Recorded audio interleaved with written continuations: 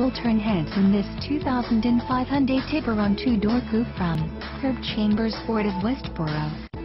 This sterling silver Tiburon sports an AM/FM stereo. We would love to put you in the driver's seat of this Tiburon. Please contact us for more information.